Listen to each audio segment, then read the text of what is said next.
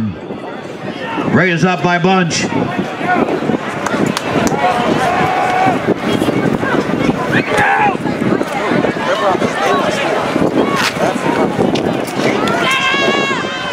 Keith Holland off to the races on the second down carry into the end zone.